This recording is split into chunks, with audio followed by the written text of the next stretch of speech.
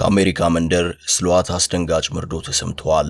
በመቀሌ አሉላ አባ ነጋ ኤርፖርት ከነደብረ ጽዮን ጋር ዘና ብለው ሰልፊ የተነሱት የአሜሪካው የአፍሪካ ቀንድ ልዩ መልእክተኛ ማይክ ሐመር በመጨረሻ ለመንግስታቸው ያቀረቡት ህወሓትን የተመለከተ ሪፖርትና ምክረ ሐሳብ ለህወሓት መርዶ ሆነዋል። ህወሓት በኩል ብዙ ተስፋ የጣለባቸው ኃይሎች በመጨረሻ የለም ህወሓት ትጥቅ መፍታት አለበት ብለው ታርፈዋል።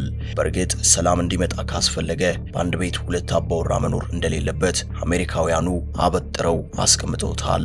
በየትም ሀገር ሁለት ትጠየቅ ያለው ተገዳዳሪ መንግስት ሊኖር አይችልም። ይህ ህወሓት መስማት የማይፈልገው ሀቅ ግን አሁን በዓለም አቀፉ ማህበረሰብ እየታመነበት ይመስላል። እናም ነገሮች ሄደው ሄደው የህወሓት ትጥቅ መፍታት ላይ አርፈዋል። ሁኔታው ለህወሓት መንደር አስደንጋጭ ሆኗል። የኢትዮጵያ መንግስት አሁን ሰፊው ህወሓትን እስከ መጨረሻው የማስወገድ እድሉ እጁ ገብቷል። መቀሌ ድረስ ሄደው ከነደብረ ጽዮን ጋር ሰልፍ የተነሱት የአሜሪካው ልዩ መልእክተኛ ማይክ ሐመር ከህወሓት ጋር የሚኖረው ድርድር ትጥቅ መፍታትን ጭምር እንደሚያካትት ለመንግስታቸው ባቀረቡት ሪፖርት ቁልጭ አድርገው ማቅረባቸውን መረጃውን ለነጌታቸው ያቀበለው ወርልድ ፒስ ፋውንዴሽን በለቀቀው መረጃ አስታውቋል። ድርጅቱ ከህወሓት ጋር ቀረቤታ ያለው በመሆኑ በዚህ ሪፖርት ትግራይ በዓለም ፊት ተካደች በማለት ነበር ሪፖርቱን እነሆ ያለው። መረጃው የተለቀቀው How the International Community is Betraying Tigray and Its Principles ወይንም ዓለም እንዴት ትግራይንና መሪዎቹን እንደከዳ ተመልከቱ በሚል አይነት ርዕስ የተለቀቀ ነው።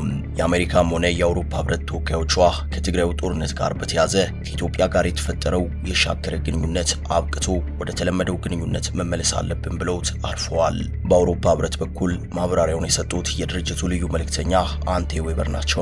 የህወሓት መርዶ ለኢትዮጵያ መንግስት ደግሞ ታላቅ የምስራች ነው። በአሁኑ ሶስተኛው ዙር ወራ ሰፊ ቦታዎችን በወራ በመያዝ ወታደራዊ ክንዴን በማፈርጠም ወደ ድርድሩ እገባለሁ ብሎ አስቦ የነበረው ህወሓት አሁን ወዳጆቼ የሚላቸው ስለሱ ትጥቅ መፍታትና ከኢትዮጵያ ጋር ያላቸው ግንኙነት ስለመሻሻሉ እያወሩ መሆኑ የመጣው ሰነድ ቁልጭ አድርጎ አሳይተዋል።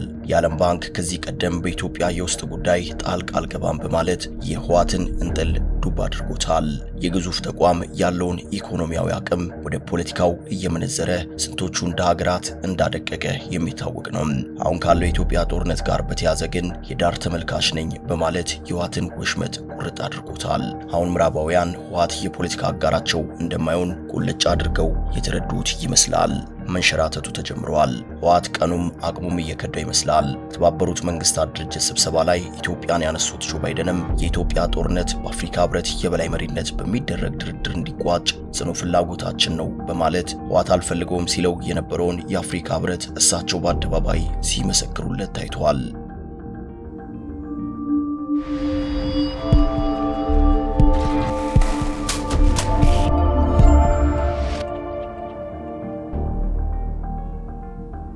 ህወሓታውን ቀኖች እየከዱት ይመስላል።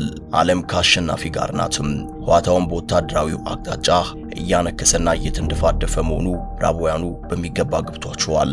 የህወሓቱ ቃል አቀባይ ጌታቸው ረዳ እውነታው እየመረረውም ቢሆን ዋጥ አድርጎ በትዊተር ገጹ ላይ ተመልከቱት ብሎ ትጥቅ ፍታ የተባለበትን ሰነድ አጋርቶታል።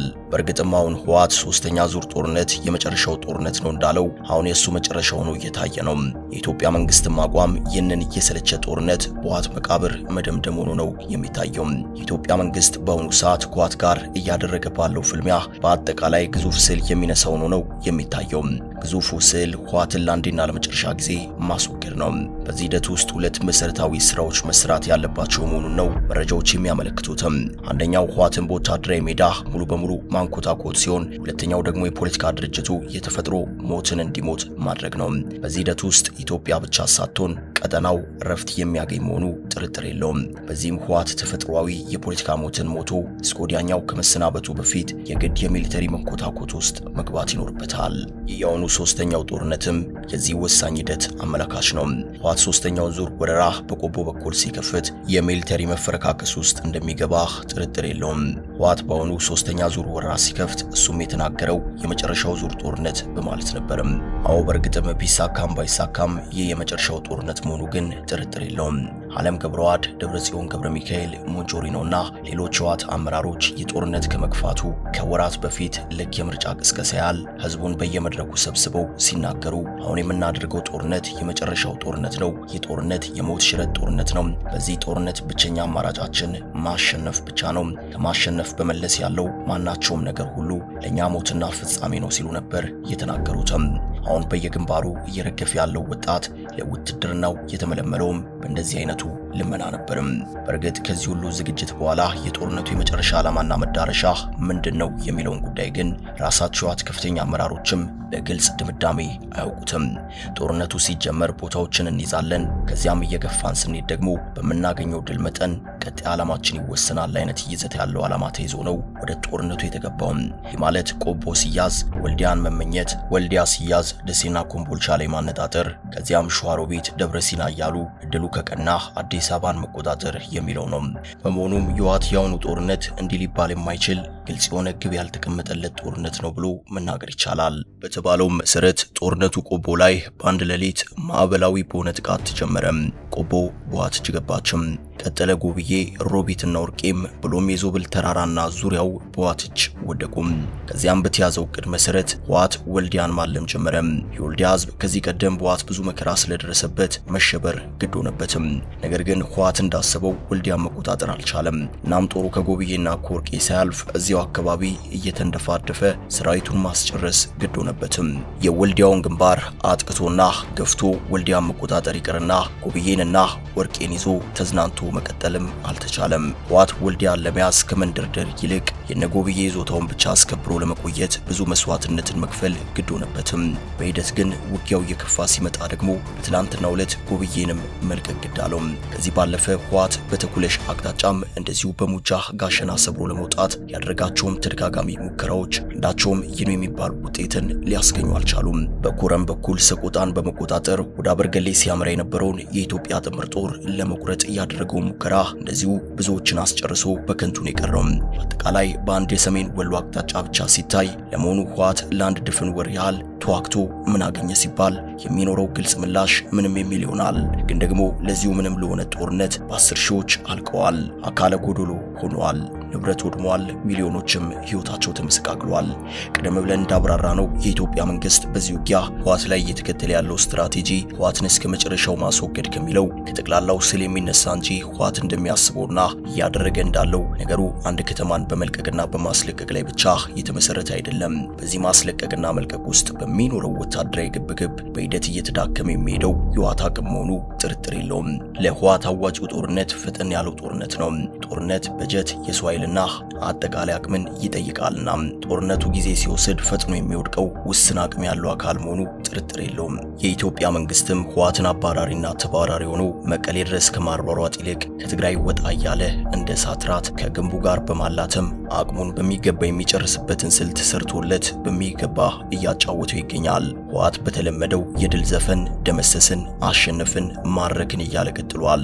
የመጨረሻውን አቅሙን እየተጠቀመ በመሆኑ ከዚህ በኋላ ህወሓት ትግራይን ለመከላከል ሊጠቀማቸው የሚችላቸው አቅሞች ሁሉ ከመጨረሻው አቅሙ በታች ናቸው ማለት ነው። አሁን የኢትዮጵያ መንግስት ዋና ስራው አድርጎ በወታደራዊ ሜዳ እየሰራ ያለው የህወሓትን ሙሉ ወታደራዊ አቅም ማሽመድመዱ ላይ ነው። ወታደራዊ አቅሙ የሚሽመደመደው ደግሞ ወደ ግንባር በመሳብና በማጫወት ብቻ ሳይሆን በአየር ኃይሉ በተለይም በድሮኑም ጭምር ነው። በተለይ ድሮኗ የህወሓትን ስንቅና ትጥቅ፣ የተዋጊ ኃይል ክምችት፣ የመሳሪያ ዴፖን ከጥቅም ውጪ በማድረግ እየሰራችው ያለው ስራ ታምር የሚያሰኝ ነው። ህወሓት ድሮኑ ሰላማዊ ሰዎች ላይ ጉዳት አደረሰ ከሚለው በላይ የሆዱን በሆዱ ይዞ አንጀቱ እያረረ ዋጥ አድርጎ የያዛቸው ወታደራዊ ኪሳራዎችም በድሮኖች ጥቃት ደርሶበታል።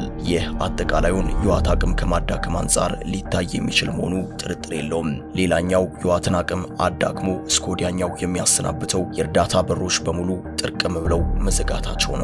የአሁኑ የህወሓት ሶስተኛ ዙር ጦርነት በትግራይ ህዝብ ስም የገባውን የእርዳታ ግብዓት ከዱቄት እስከ ብስኩትና ነዳጅ በሚገባ ተጠቅመዋል። አሁን ግን ይህ እርዳታ መቶ በመቶ ጥርቅም ብሎ ተዘግቷል። የህወሓት አቅም መፈተንም መፍረክረክም የሚጀምረው እዚህ ጋር ነው። እስካሁን ባለው ሁኔታ ህወሓት ራሱ የእርዳታ ፈላጊውን ቁጥር መዝጋቢና አከፋፋይ ሆኖ ሲሰራ ቆይቷል። እርዳታውን ለጦርነት ዓላማ ከመዋል ጎን ለጎን እርዳታው ከሚደርሳቸው ሰዎች ሳይቀር ለተዋጊው ቀለብ አዋጡ በማለት በታክስ መልኩ ከፍተኛ መጠን ያለው እርዳታ ከእርዳታ ፈላጊው ጉሮሮ ሳይቀር ይወስድም ነበርም። ከዚህ ባለፈ እርዳታ ለማግኘትም ከቤተሰብ የተዋጊ ልጅን ወይንም ዘመድ አዝማድን አሳልፎ መስጠትም እንደ ግዴታ ነው። ህወሓት በዚህ መልኩ ነበር እርዳታን ለጦርነት ዓላማ በሚገባ ሲጠቀም የነበረው። ሶስተኛው ዙር ጦርነትም የጀመረው በእርዳታ ያከማቸው አቅም የተሟላ መሆኑን ሲያረጋግጥ ነበርም። አሁን የጦርነቱን መጀመር ተከትሎ የተባበሩት መንግስታት ድርጅት ትግራይ ውስጥ ያለውን እርዳታ ከማከፋፈል ውጪ ከውጭ የማስገባው ምንም አይነት የእርዳታ እህል የለም በማለት ቁርጡን ተናግረዋል። የኢትዮጵያ መንግስትም ቢሆን እርዳታ ለምን ተግባር እየዋለ እንደሆነ ከበቂ በላይ መረጃውን ስላገኘ በህወሓት መዳፍ ስር ላለችው ትግራይ ከዚህ በኋላ ነገሩ ሳይለይለት እርዳታ ሊፈቀድ የሚችልበት እድል ወደ ዜሮ የተጠጋው ነው ነው የሚታየው።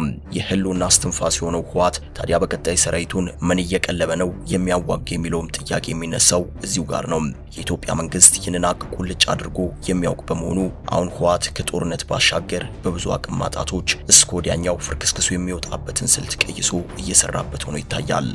አደራዳሪዎች በህወሓት ጉዳይ እየተሰላቸው ነው ይታያል። ለወራት በሰላም ጥረቱ ዙሪያ ደፋ ቀና ሲሉ የነበሩ የተባበሩት መንግስታት፣ የአፍሪካ ህብረት፣ የአውሮፓ ህብረትና የአሜሪካ መንግስት ተወካዮች ለየላኳቸው አካላት ያቀረቡት ሪፖርት ባለፉት ጊዜያት በነበሩት ሂደቶች ህወሓት ላይ የተሰላቹ መሆኑን በግልጽ አሳይተዋል። የአሜሪካው የአፍሪካ ቀንድ ልዩ መልእክተኛ ማይክ ሀመር ለወራት በኢትዮጵያ መንግስትና በህወሓት መካከል ሰላማዊ ድርድር እንዲኖር ያደረጉትን ጥረት አስመልክተው ለመንግስታቸው በሰጡት ማብራሪያ ጭራሹን የሻከረው የአሜሪካና የኢትዮጵያ መንግስት ግንኙነት በፍጥነት የሚመለስበት ሁኔታ መኖር አለበት ሲሉ ነበር ማብራሪያ የሰጡትም።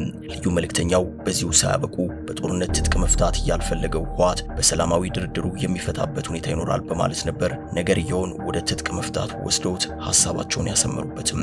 ይችን ትጥቅ መፍታት የምትሏን አባባል ህወሓት ፈጽሞ ሊሰማት የማይፈልጋት ቃል ናትም።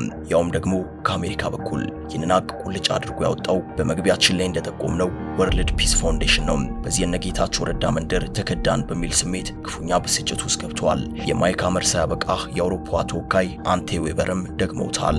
እሳቸውም ለላካቸው የአውሮፓ ህብረት ተወካዮች በሰጡት ማብራሪያ የኢትዮጵያና የአውሮፓ ህብረት ግንኙነት ወደ ቀድሞ መመለስ መቻል አለበት ሲሉ ተናግረዋል። ህወሓት የሚፈልገው ከትግራዩ ጦርነት ጋር በተያዘ የኢትዮ አውሮፓና የኢትዮ አሜሪካ ግንኙነት እንደሻከረ እንዲቀጥል ነው። አሁን ግን ነገሮች በዚያ መልኩ እየሄዱ አይመስልም። ህወሓት በጦር ሜዳውም በዲፕሎማሲውም መልካም ዜና እየሰማ አይደለም። መድረሻው በቅጡ ሳይለይ የተጀመረው ጦርነት አሁን ይባስ ብሎ ትግራይ ውስጥ ገብቶ ውጥንቅጡ ወጥቷል። መቀሌ ድረስ ሄደው ከደብረ ጽዮን ጋር ሰልፊ ፎቶግራፍ የተነሱት ማይክ ሀመር በመጨረሻ የህወሓት ትጥቅ መፍታት ጉዳይ የድርድሩ አካል ሆኖ መካተት አለበት በማለት የህወሓት ሰዎችን ወሽመጥ ቁርጥ የሚያደርግ ሪፖርትን ለመንግስታቸው አቅርበው አርፈዋል። አበቃን። ሰናይ ጊዜን ተመኘን።